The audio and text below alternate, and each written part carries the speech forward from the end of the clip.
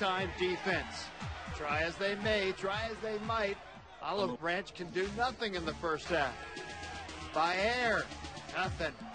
And look at that defensive line by Madison Central. They stop the run cold right up the middle. It takes until one minute before halftime before Olive Branch can even cross the 50-yard line. The mighty Jaguar D was big all first half.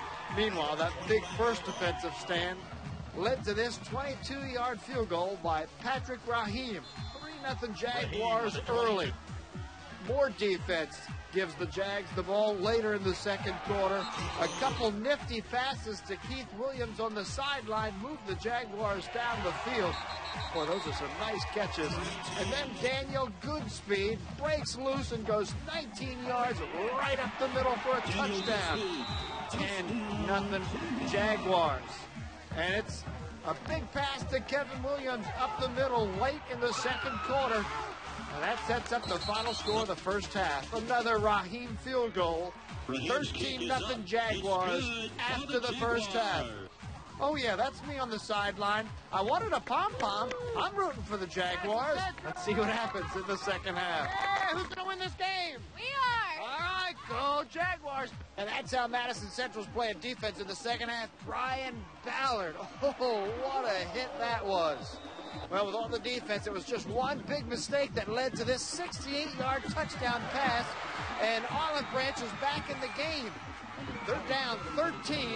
They're down 13 to 6. But how does a tough team answer a mistake?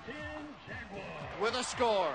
Madison Central right down the field. That's Keith Williams again. Nice catch. And the quarterback sneak for the touchdown. Madison Central, well-balanced offense and defense, was big in this win tonight. And how does Coach Hall feel about this win? Oh, I feel pretty good right now. We really didn't play that great. I'm a little disappointed in the penalties, but boy, we played hard, and uh, we got a good football team. I'm proud of my guys. It means so much. We uh, we just we, we got past the big the big step in the road. We just got to see what we can do in the rest of the rest of the playoffs. No doubt about it. The Jags were ready to play, and they're going to be ready next week. Big ball game. It is the North State Final for the Blitz 16 Game of the Week. I'm David Hart. Thank you, sir. And don't worry, Northwest Rankin fans, he still got that Cougar blood in him. For the fifth year in a row, Madison Central, you heard the man. He had, they advanced to the state semifinals, aka the North State Finals, after a 27 6 win. South Panola heads to the jungle next week with a trip to Jackson.